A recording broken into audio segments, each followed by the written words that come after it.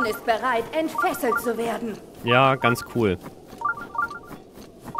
Also genau in die Richtung muss jetzt Schreien sein.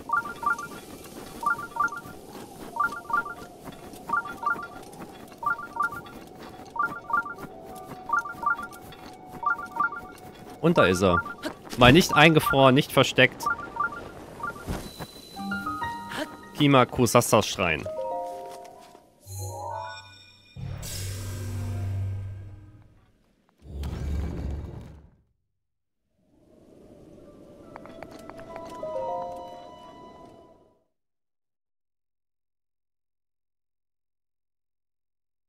Aber ich habe schon lange keine mehr äh, von den Fledermäusen gesehen. Und ich brauche leider noch drei von. drei oder fünf von deren Eis schwingen. Eine schwierige Kraftprobe.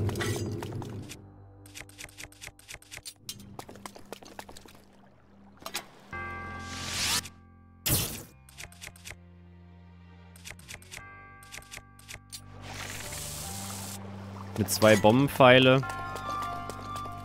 Also letztes Mal habe ich mich einfach gedrückt von der Kraftprobe. Moment, ich muss mich gerade auch noch umziehen.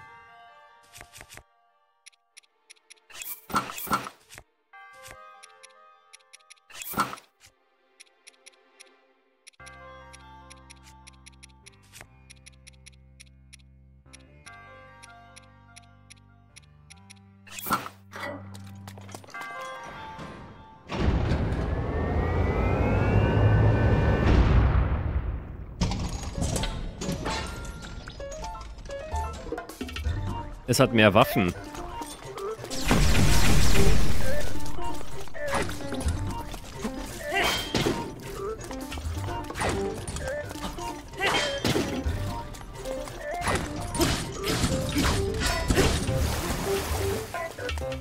Und seht ihr auch die andere Änderung?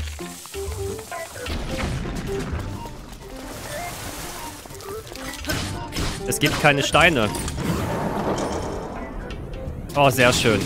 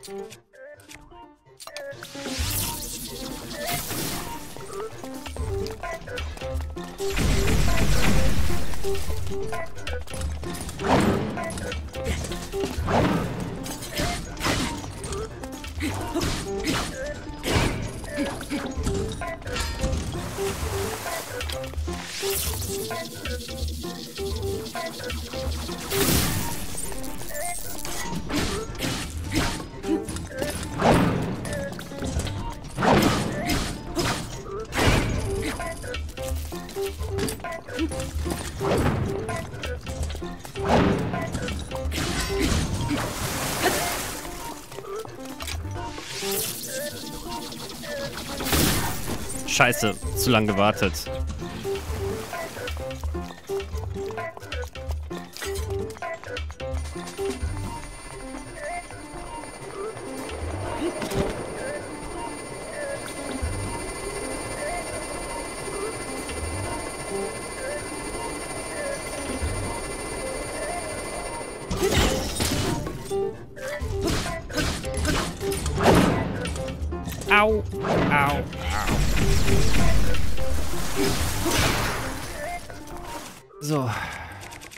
Ist unser Ansar? Genau.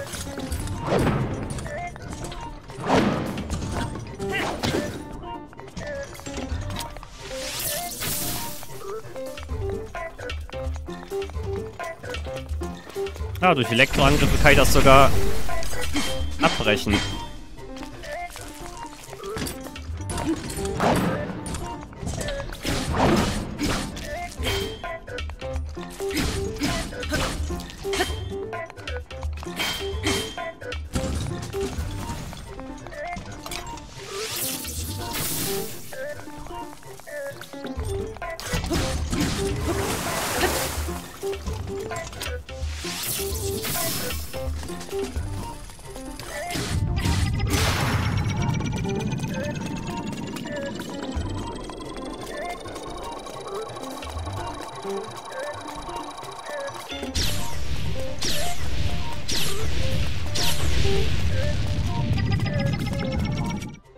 Noch für eine Waffe?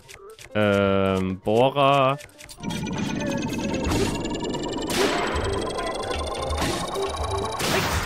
Ja. Wächterlanze plus plus. Wächterachs plus plus. Wächterschild plus plus.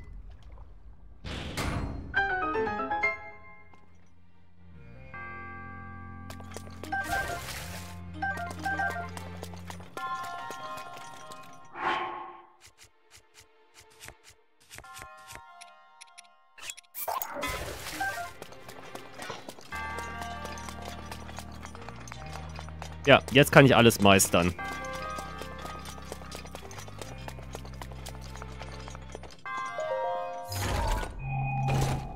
Niemand kann Link jetzt noch aufhalten.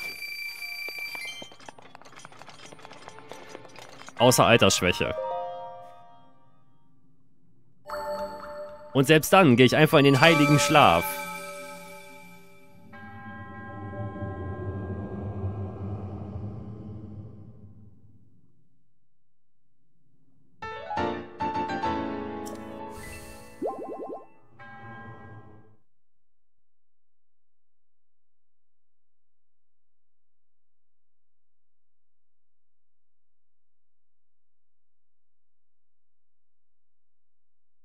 Übrigens 50% der Scheine jetzt gemacht.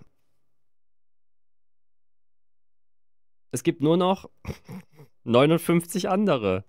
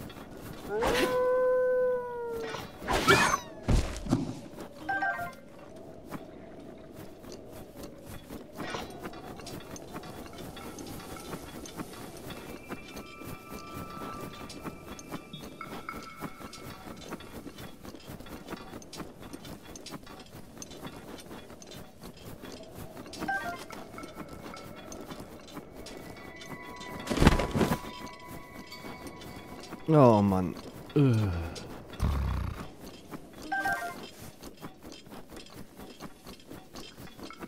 Wieso schreiben so wenige? Frage im Chat. Wahrscheinlich, weil gerade wenige einfach schreiben. Hier ist immer ein bisschen stiller. Obwohl ich heute sehr viel, ähm, beziehungsweise heute hatte ich zwei wirklich kritische Kommentare, wo die Leute gesagt haben, hm, spiel doch mal wieder mehr Strategie. Ich muss sagen, zurzeit spiele ich halt einfach Zelda gerne und anderen Kram. Oder spiele halt mit, den, mit dem Mod-Team ganz gerne mal was. Ich werde bestimmt auch wieder Strategie spielen. Aber nur nicht diese Woche. Und ich weiß, an sich ist das fehlerhaft. Also die Branche bzw. der YouTube-Markt ist halt in allen Bereichen gesättigt. Nur der Strategiebereich, da gibt es halt eigentlich niemanden. Oh, da ist wieder so ein Liune oder wie auch immer.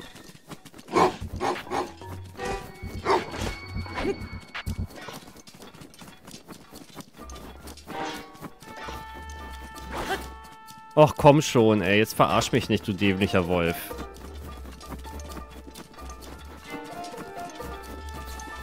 Ich gehe jetzt einfach weg. Du gehst in eine andere Richtung. Ich will auch keinen Fall verschwenden für dich.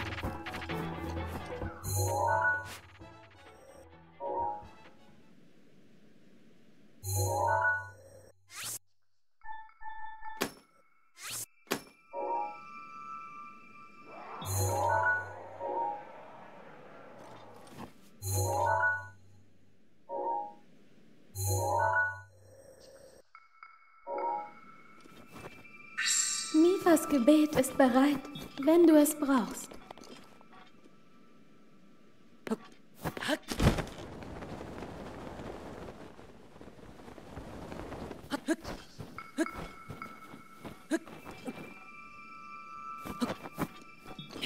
Der Plan wird eh voll sein. Jetzt noch Zelda äh, und Wildlands und dann kommt noch Mass Effect. Vor allem, aber Mass Effect hat halt ein, sag ich mal, ein schnelles Ende. Also typisch BioWare-Manier wirst du wahrscheinlich nach 60, 70 Stunden wie bei den Vorgängern irgendwann durch sein.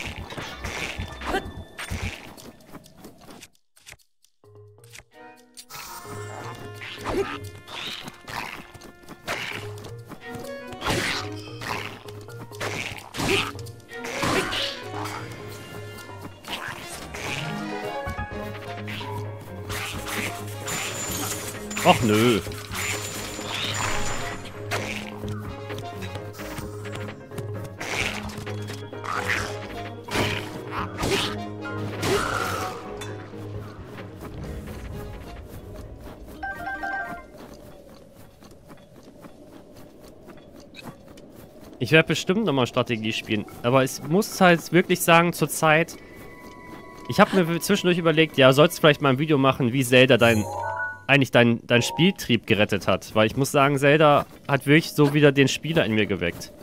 Also von durch und durch. Ich bin so glücklich einfach. Ich hab... Ich freue mich einfach, wenn ich Zelda spielen kann.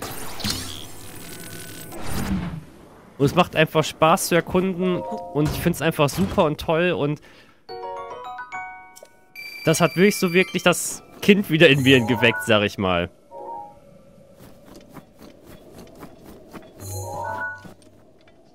Da oben, da vorne ist ein Schwert, ein riesiges.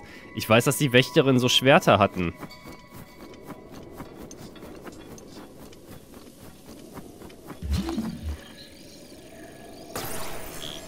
Oh, du bist eine Falle. Komm raus.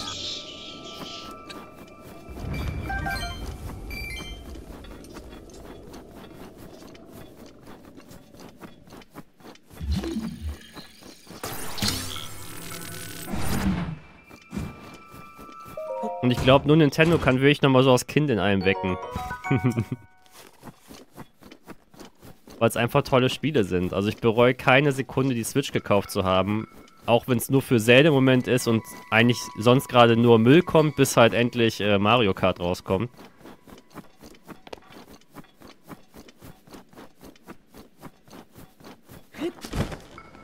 Geh mal zu dem Schwert. Ich glaube, das ist das sogar.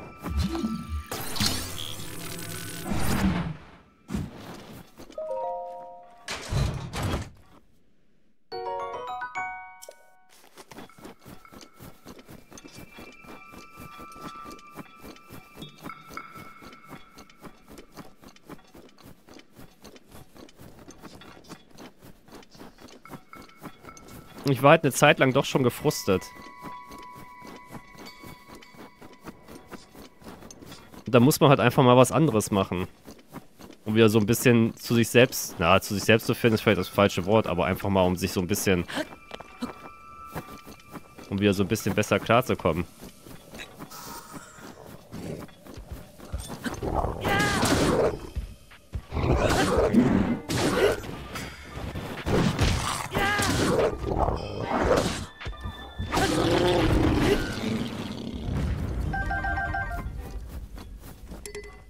Das Schwert markiert einen anderen Gerudo-Zweihänder.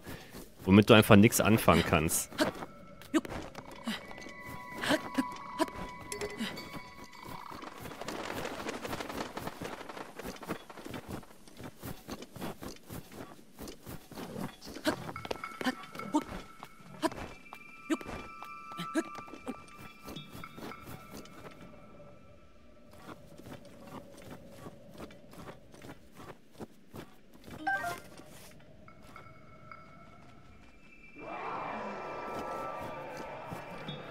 Es tut nicht so, als wenn du mich sehen kannst gerade, weil das wäre total kacke. Da habe ich keine Lust drauf.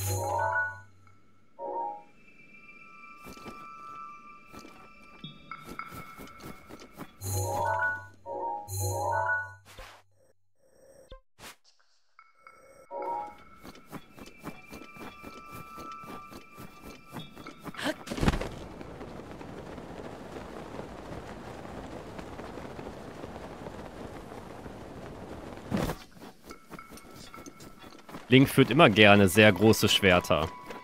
Aber nochmal zu den Kritikkommentaren heute. Also es gab, glaube ich, einen Kommentar, was in die Richtung ging, dass ich jetzt durch mein, durch mein Alter unreifer werde.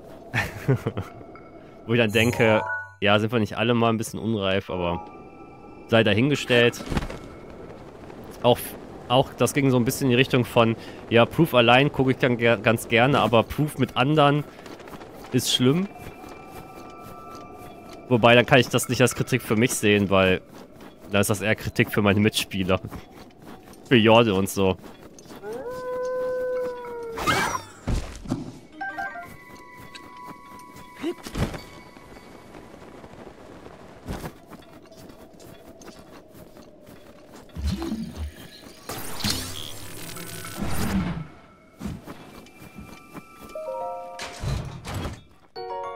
Vor muss man sagen, dass eigentlich das Zelda-Spielen, auch wenn die Viewzahlen natürlich jetzt nicht gut sind, auch bei, wenn ich die LP-Teile hochziehe, aber es sind ja meistens hier so 200 Leute, die mal immer zugucken im Livestream. Deshalb sehe ich das auch doch ganz locker. Ähm, der Kanal eigentlich dadurch ganz gut gewachsen ist die Tage. Also wir haben ein paar Leute dazugefunden, neue. Jetzt der Mondsee ist auch interessant für uns. Und warum nicht? Es ist halt mal was anderes einfach. Au.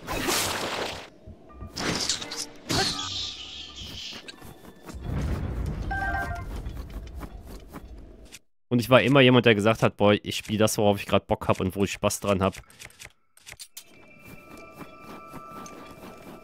Und äh, ich bin dem, glaube ich, ziemlich treu geblieben. Man könnte natürlich jetzt sagen, boah, Zelda, das ist ja voll klickorientiert, weil ist ja voll das Hype-Spiel im Moment. Das Triple-A-Titel im Moment und, äh, und total super und na klar ist das super. Aber es bringt mir eigentlich nichts. Es ist sogar sehr negativ. Ah nein, das war nicht der Sonderschüler-Kommentar, der gerade im Chat erwähnt wird. Da hat irgendjemand geschrieben gehabt, auch unter Whitelands, äh, vier Sonderschüler sind vier zu viel oder irgendwie sowas. Aber über sowas musst du halt drüber stehen. Das ist ja vollkommen in Ordnung. Da sind Leute, die schauen sich das Video an und man hat halt deren Geschmack gerade nicht getroffen. Man muss ja immer dran denken, du hast halt nur, sag ich mal, diese, die, sagen wir mal, die ersten 15 Sekunden oder die erste Minute hast du Zeit, wirklich jemanden zu überzeugen, zu sagen, okay, pass mal auf, wir spielen hier Wildlands und so und so läuft das und das und vielleicht findest du das gut, wie wir das machen. Und wenn nicht, dann nicht. Dann musst du gucken, ob ein anderes LP dir mehr zusagt gerade.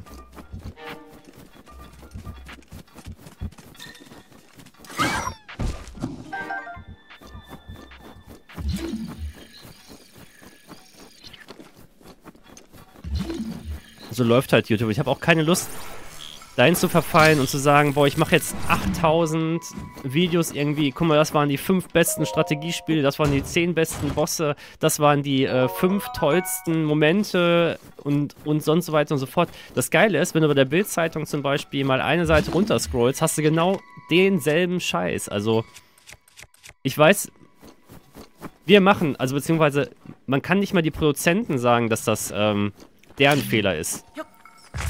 Also jetzt sind wir schon wieder beim YouTube-Thema. Ich weiß, ich kann mich dann immer ganz gerne da äh, kaputt reden dran. Weil es funktioniert ja. Die Leute wollen das ja sehen. Weil sonst wird es nicht gemacht werden. Es ist ja nicht so, dass die, ähm, dass die Leute vorbeikommen und sagen, ey, cool, der macht ja was ganz anderes jetzt als alle anderen, weil das gibt's nicht. An sich machen die meisten dasselbe wie die anderen auch. Und wenn jemand mal eine gute Idee hat, ist das eh von, sag ich mal, großen YouTubern ganz schnell auch kopiert. Weil die dann Sorge haben, dadurch irgendwie was zu verlieren. So zum Beispiel damals diese ganz große Sache, Let's Draw dein La äh, Let's Draw Your Life und also Mumpitz. Wo dann die Leute gesagt haben, ja, willst du dein Leben nicht mal malen? Also auch so ein Let's Draw Your Life machen. Da habe ich gesagt, ja, sorry, ey. Ich bin, da war ich, glaube ich, 31, als gerade so der Trend kam, oder 30. Mein Leben ist ein bisschen länger als das von einem 18-jährigen YouTuber. Da kann ich direkt irgendwie 10 Parts machen. Mach mal ein Let's Play mit Drachenlord zusammen. Das wird meinen Arbeitskollegen wirklich freuen.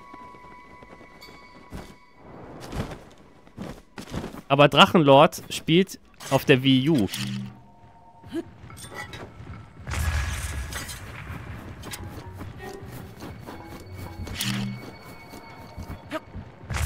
Vor allem kann ich Drachenlord nicht ernst nehmen. Also, ich, ich weiß nicht, wo ich den einordnen soll. Metal finde ich ja noch gut, aber Drachenlord, weiß ich nicht, ob der Metal gut tut.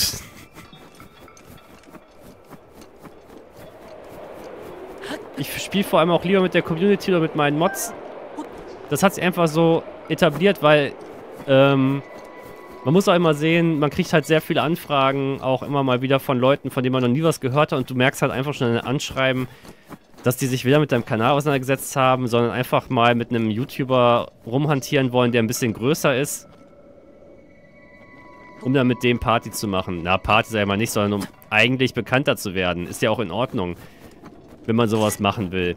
Aber deshalb mache ich höchstens mit Leuten, die ich auch kenne oder kennengelernt habe oder halt mit euch direkt mit der Community, weil ich da einfach da finde, das ist, äh, das ist angenehmer.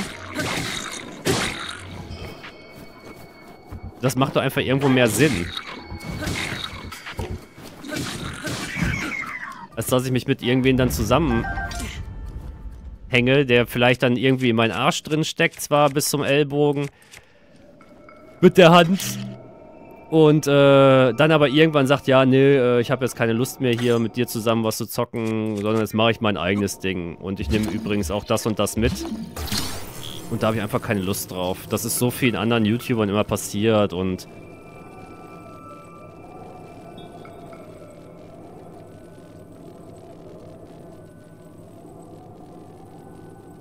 Wenn du mit ihm zusammenarbeitest, bekommst du einen Popularitätsschub. Ja, aber ist egal. Ich habe auch nie versucht, mit größeren YouTubern was zu machen. Den einzigen, mit dem ich mal immer mal wieder äh, gesprochen habe, war halt auch Walle Gaming der ja auch größer ist als mein Kanal. Mit dem würde ich was machen, aber weil ich ihn jetzt schon seit zweieinhalb Jahren kenne und wir uns immer sehr gut verstanden haben. Und das sind halt immer die Sachen, die die Leute dann nicht verstehen. Ihr müsst sagen, man geht wirklich auf eine Audience von irgendwie YouTube oder sonst irgendwas und dann sagt, wird dir gesagt, ja, du musst was mit anderen YouTuber machen, weil darüber wächst du halt schneller. Es ist halt einfacher, darüber bekannt zu werden oder auch äh, eine Zielgruppe zu finden indem du halt einfach, sagen wir mal, jemand in den Arsch, in den Arsch rein gehst. so kann man es, glaube ich, ausdrücken. Aber ich habe keine Lust auf sowas, weil mir ist egal, ob du 10, 15 oder äh, 100.000 Abos hast. Das sagt nichts über dich aus. Ich muss mal eben gucken, was ist denn überhaupt anders bei den beiden.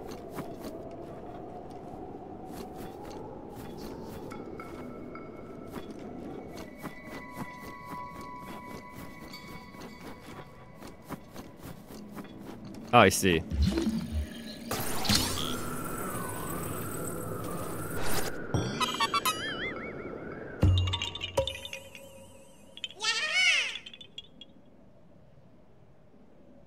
Richtig, wenn ich mehr Abos will, muss ich nur Schminkvideos hochladen, obwohl, äh, ich glaube, Beauty...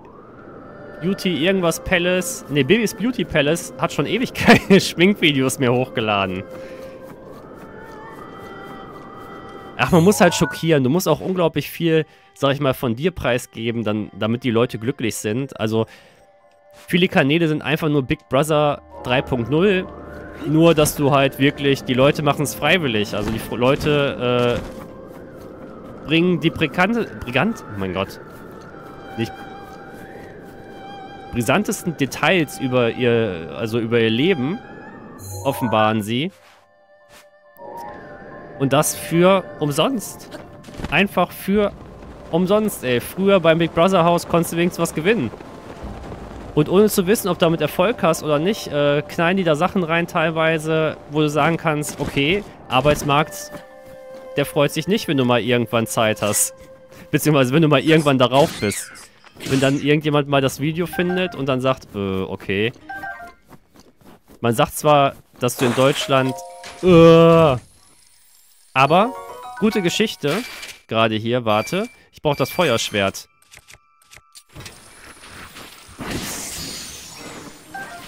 Ach, scheiße.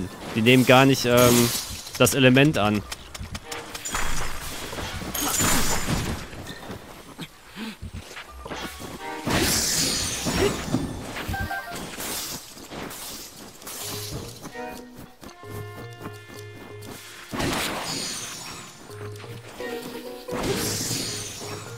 Doch, wenn ich da einfach nur über den Schleim drüber gehe. Ach so, krass. Also kann ich die einfach so töten und dann das so verändern. So, jetzt war ich kurz abgelenkt vom Spiel. Unglaublich, ich bin vom Spiel mal abgelenkt.